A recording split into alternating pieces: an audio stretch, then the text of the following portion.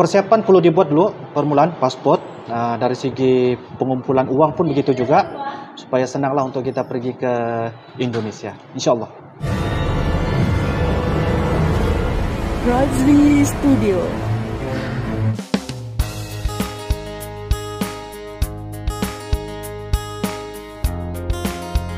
Assalamualaikum warahmatullahi wabarakatuh. Kembali lagi bersama Razli Studio. Pada kali ini Razli Studio uh, bertemu dengan teman lama. Orang yang pertama kali mengajak saya mengenal apa itu YouTube, guys. Ini dia. Halo guys. Nah. Hai. Mungkin ramai subscriber atau follower yang mengenali beliau. Mungkin ada yang belum mengenali.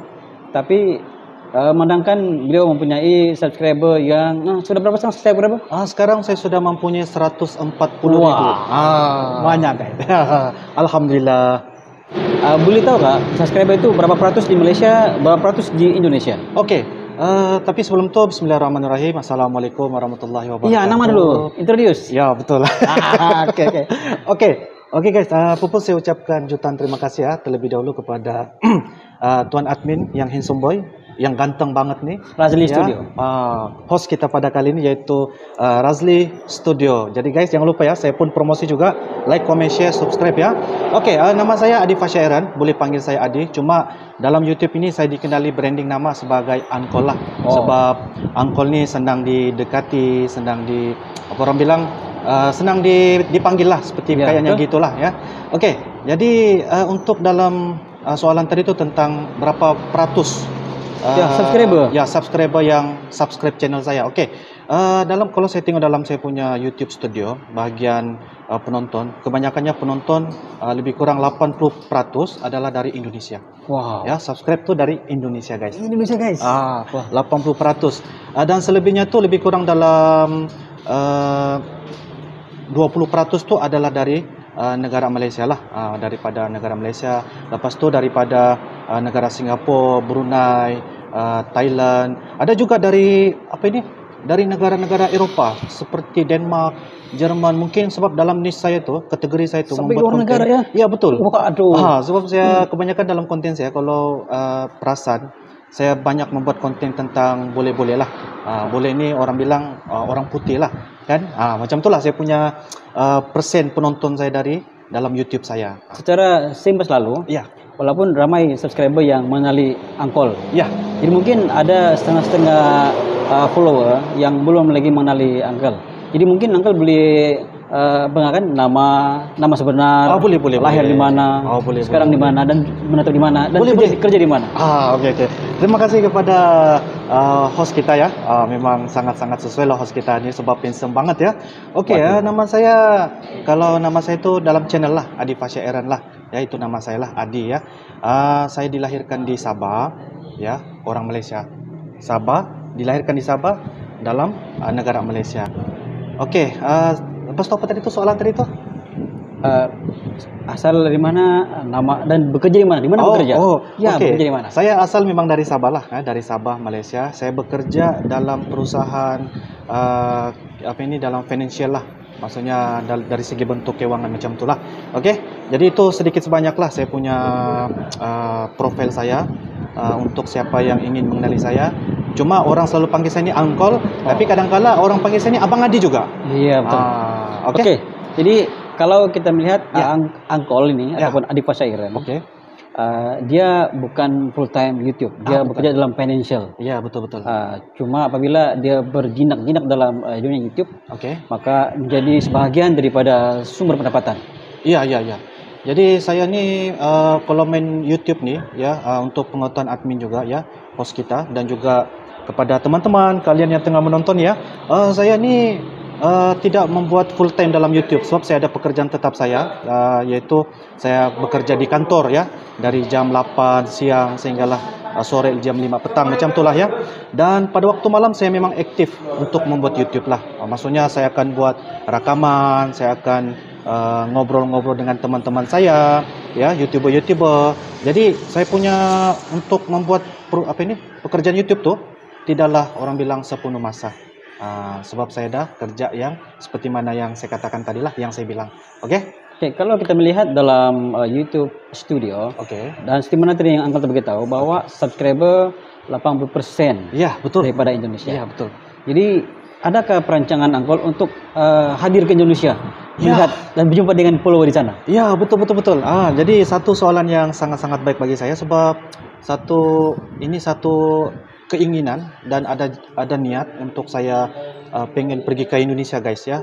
Dan untuk pengetahuan semua uh, teman-teman kalian yang tengah menonton nih, insyaallah uh, untuk pada penghujung bulan ini saya akan uh, membuat paspor.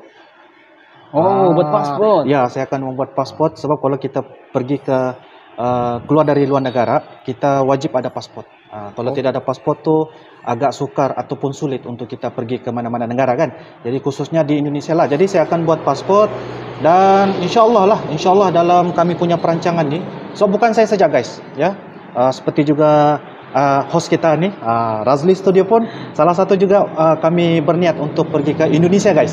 Ya, Ya. jadi insya Allah dalam perencanaan kami itu dalam uh, insya Allah dalam penghujung tahun uh, bulan Desember ya uh, ataupun mungkin paling awal pun mungkin dalam bulan 10 uh, bulan 10 itu dalam bulan Oktober lah ya uh, untuk kita pergi ke Indonesia. Insya Allah guys.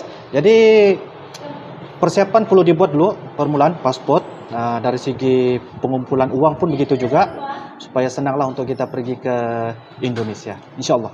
Oke, dan seterusnya, Ya. eh, kalau ingin ke Indonesia, Ya. di manakah lokasi yang bakal dituju? Ah, wah. Kalau tempat yang dituju ini ya, ah, satu soalan yang bagus juga nih ya. Ah, saya ingin pergi ke satu, ah, saya ingin pergi ke Bali, satu. Ah, lepas tu ibu kota Indonesia tu Jakarta, Jakarta, kota Jakarta. Ah, Medan, sebab Medan tu dia ada satu tempat yang macam apa nih, bekabus kah? Sebab kalau di Sabah nih guys, dia ada satu juga tempat Di Medan dikenal sebagai eh, negeri di atas awan. Negeri di atas awan ya? Ya, Apa itu Berastagi kah? Tidak silap. ya betul. Berastagi ya, tempat yang ada ada asap-asap tuh guys. Kalau kita bercakap tuh kan guys, wih, ular asap. Mantap tau. Jadi itulah ah jadi selain daripada Medan juga saya mau pergi juga Yogyakarta ah, ah, di apa ini? Di Padang. Ah, jadi banyak lagi lah tempat-tempat sebab saya tahu Indonesia ini dia punya tempatnya tuh memang banyak ya. Memang banyak. Jadi itulah yang saya sebut tuh yang terlintas di pikiran saya itu sekarang. Oke.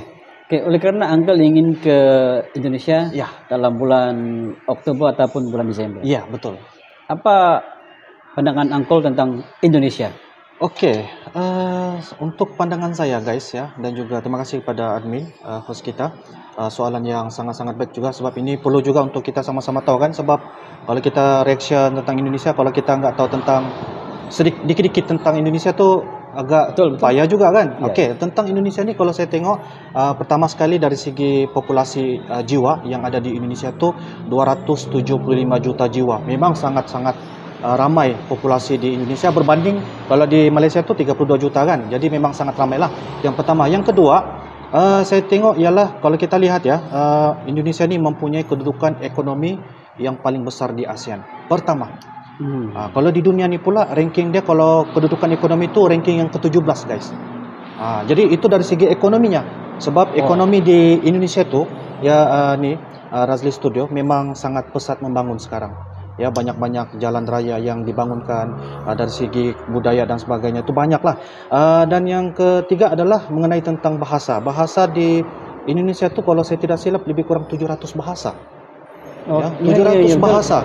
Ya, setiap daerah tuh, setiap daerah tuh dia ada bahasanya sendiri, ya.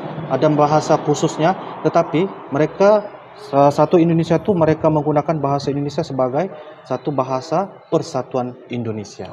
Ah, jadi itu sedikit dikit-dikit lah ah, pandangan saya tentang Indonesia. Tapi apa pun Indonesia memang sangat satu salah satu negara yang bagi saya sangat-sangat unik lah sebab bila saya buat reaction banyak ramai orang mengatakan keramahan orang Indonesia itu memang sangat-sangat unik lah ya anu apa ini uh, Razli Studio sebab keunikan keramahan tuh jadi saya pun mau tahu mau rasain sendiri dengan cara pergi ke Indonesia insya Allah Ya. insya Allah Oke, eh, sebut tentang Indonesia. Ya. Indonesia dikenali sebagai surga makanan. wah Jadi, andainya eh, Uncle ke Indonesia, oke apakah jenis makanan yang bakal dicari di sana? Oh, oke. Jadi kalau saya, kalau kita lihat tentang makanan ataupun kuliner-kuliner yang ada di Indonesia, memang mereka ni sangat kaya dengan rempah, kaya dengan pelbagai apa jenis-jenis makanan kan. Jadi kalau macam di Indonesia tu, kalau bilang makanannya tu di Malaysia, terutamanya di Sabah ada juga kan. Ya, Tapi betul. keasliannya tu tidak tidak orang bilang tidak dapat uh, sama kalau kita mau tengok aslinya tu masakan dari Indonesia kan. Okey, uh, pertama sekali macam masakan nasi padang. Ya, Ah, kayak nasi padang. Ah, nasi padang itu satu. Okey, nasi padang. Satu lagi nih. Apa ini makanan kalau Indonesia tu panggil jajan kan? Ya, jajan. Ah, jajan. Ah, kalau kita sini kita panggil martabak kan? Ya. Di Indonesia yang saya dengar martabak tu ada dua. Oh, ya, iya. martabak satu ni martabak yang campur sayur, ada dagingnya, ada telurnya kan. Tapi ada satu lagi, martabak yang ada campur dengan coklat, Oh, unik ya. ah, vanilla. Jadi Macam Wah. itu belum pernah jumpa di ya, Malaysia. ya, betul, betul betul betul. Jadi Okey, itu okey. yang saya rasa macam pengen, wih. Luar biasa nih makanan sebab kalau kita di Malaysia ni martabak ni itulah ada sayur kan Ya, campur betul, betul. goreng kan. Tapi di Indonesia tu ada saya nampak satu video dari Korea dari orang Korea yang pasti banget lancar bahasa Indonesia, Yuna Luna. Oh, Yuna Nuna. Oh, Ah, dia okey. buat vlog, dia pergi bawa uh, ini satu video tu dia memperlihatkan tentang makanan jajan. Jadi ternyata martabak campur coklat. Oh, okey okey. Nanti kalau ke Indonesia bakal dicari. Ya, jadi itu yang saya pengen mau rasa tuh guys. Oke, kita Oke. uh, mungkin kedua terakhir soalan. Oke. Ah. Mungkin ini uh, ada sedikit panas soalannya, Uh, panas ya. ya. Jangan panas-panas. Uh, sekarang ini antara Malaysia dan Indonesia Oke. ada setengah-setengah netizen Oke. yang tidak bersetuju dengan uh, caption ini. Oke. Ada juga netizen yang bersetuju dengan caption ini. Oke. Yaitu apa pendapat Angkol tentang perkataan serumpun? Oke, jadi sebut tentang serumpun ini memang sang- ah, satu situasi yang ah, sangat-sangat panas lah. Dia ada dia punya pro, dia ada dia punya kontra. Dan bagi saya ten- menyebut tentang serumpun ini setiap orang tu ada pandangan. Ah, pandangan oke, masing-masing. Macam Razli Studio ada pandangan dia, macam saya, saya ada pandangan dia dengan orang lain pun ada pandangan dia. Jadi kita tidak menolak ataupun mengetepikan setiap daripada apa yang ah, mereka katakan. Kalau bagi saya serumpun ini saya melihat ah, satu definisi yang sangat luas. Yang pertama sekali kalau kita lihat definisi ataupun maksud serumpun itu adalah kesamaan. Ya, betul. ah, Oke. kesamaan. Jadi bila kita lihat dari segi kesamaan itu bagi saya kalau saya ngobrol-ngobrol bercakap dengan orang orang Indonesia kan, Iya benar. saya paham. Hmm. Jadi bila saya paham ada kesamaan. Iya. Betul gak tidak? Oke, satu. Yang kedua dari segi makanan. Kalau kita tengok makanan di Indonesia dan juga makanan di Malaysia ini lebih kurang sama. Nah, sebab apa? Sebab kalau kita tengok uh, sejarah Indonesia ramai yang berhijrah pergi Malaysia. Ada yang orang bilang sudah menikah orang di Malaysia, ada yang sudah jadi uh, warga negara orang Malaysia. Contoh, contoh saya bagi tahu, yaitu salah satu YouTuber reaction dari Malaysia, Nohas TV. Iya. Ah, dia orang Minang. Ah, tapi uh, dia bilang dari umur satu tahun dia sudah berpindah ke ke Malaysia dan jadi warga negara Malaysia dan menikah dengan orang Malaysia. Jadi itu salah satulah. Jadi ada kesamaan lah bagi saya kesamaan. Jadi saya menyudut dari segi positif lah ya uh, Razli Studio. Saya saya tidak memandang lebih berat. Sebab saya ini hanyalah netizen biasa. Bukan seorang yang famous di mana-mana pun. Tetapi pandangan saya adalah kesamaan sahaja dan menyudut kepada perkara-perkara yang positif. Oh, Jadi itu saya oke. punya pandangan secara ringkas lah kesamaan. Oke, jadi sekiranya ada subscriber ataupun Ya. uh, follow uncle yang ingin uh, datang ke Malaysia, ya, khasnya di Sabah, oke. di manakah lokasi yang mereka perlu pergi di Sabah Kak? Ah. supaya mereka lebih tahu dan Ah, lebih betul. sekiranya datang ke sini. Oke, betul-betul. Jadi seandainya guys ya kepada teman-teman kalau ingin berwisata lah kan. Ya, ah, wisata. wisata-wisata ke Malaysia, khususnya seandainya memilih Sabah. Ya, sebab Sabah ni sebahagian dari Malaysia lah, cuma terpisah. Ya, Sabah, Sarawak dan Sabah ni pula berdekatan dengan Kalimantan. Jiran tetangga kita di Kalimantan Indonesia. Jadi sama Brunei lah satu kali ya. Okey, untuk di Sabah ni sebenarnya banyak tempat-tempat wisata yang sangat-sangat menarik. Banyak. Ya, salah satunya di di daerah saya, kampung saya, yaitu daerah Ranau. Nah, nanti uh, Razli Studio boleh buat satu capture lah screen kan untuk Kita memperlihatkan. tengok ini. Ya, betul. Ah, yaitu di tempat saya guys, yaitu satu Gunung Kinabalu. Ah, Gunung Kinabalu ini merupakan gunung yang paling terbesar di Tertinggi. ter, ter, ter- tertinggi. Sorry, sorry, sorry guys. Tertinggi di Asia yaitu Gunung Kinabalu yang terletak di kampung saya guys. Ah, satu. Lepas tu yang kedua ialah peranginan tempat ah, kalau kita rasa mau pergi mandi-mandi untuk freshkan badan, tempat yang ada panas di di, di kampung saya ni daerah Ranau ya. Dia dipanggil sebagai tempat ah, wisata iaitu hot spring iaitu ah, uh, dia panggil sebagai tempat kawasan uh, poring, kawasan poring lah, uh, kawasan kampung poring di mana kita akan uh, sesuaikan diri kita kalau kita mau mandi dengan air panas kan, uh, tempat yang jalan-jalan, tempat yang ada orang bilang untuk tengok pemandangan dan sebagainya, ah kita boleh pergi di kampung saya lah guys. Tapi kalau di Sabah ni sebenarnya uh, memang banyak lah, uh, banyak daerah, banyak Okey, daerah yang ada uh, tempat yang boleh kita terokai. Tapi kalau boleh pergi di kampung saya lah. Ah. Jadi subscriber semua uh, kepada follower Uncle kalau ingin hadir ke ataupun berwisata ke Sabah uh, boleh jumpa Uncle. Ah, insyaallah insyaallah. Oke, dan seterusnya, Ya. apakah Uncle punya pesanan kepada subscriber Anda yang melihat dalam video ini? Oke, jadi terima kasih kepada uh, Razli Studio. Uh, saya saya dengan rendah rendah hati uh, untuk mengatakan kepada semua uh, saudara-saudara saya yang berada di Indonesia, Malaysia, uh, di mana-mana lah, uh, tidak kira lah dimanapun. Saya mengucapkan jutaan terima kasih kerana menyokong dan juga mendukung saya sebagai uh, channel Adifa Syairan uh, dan sentiasa memberikan banyak uh, ini uh, komentar-komentar yang sama ada baik ataupun uh, kurang baik itu enggak apa-apa. Sebab yang penting kita belajar apa yang kita patut buat dalam channel kita lah. Maksudnya kita membangunkan channel kita untuk menyudutkan perkara-perkara yang positif. Oke, itu satu. Yang kedua, Betul? uh, bagi saya kita ni kalau mau berteman, kita bukan setakat berteman ni macam saya berteman dengan Razli Studio, bukan setakat kita ni ada ada batasnya, bukan batasnya sebab kita macam ada satu hat. Macam saya kalau di Indonesia kita hanya bertemu dalam online saja. Alam maya. Alam maya saja, betul kan? Ya. Ah, jadi dengan adanya channel ini, jadi secara tidak langsung kita akan uh, membuat satu teman yang yang yang orang bilang daripada luar negara, khususnya Indonesia, dengan cara kita membangunkan channel ataupun apa sajalah uh, Google Meet kah ataupun uh, orang bilang secara alam maya lah, kayaknya gitu kan.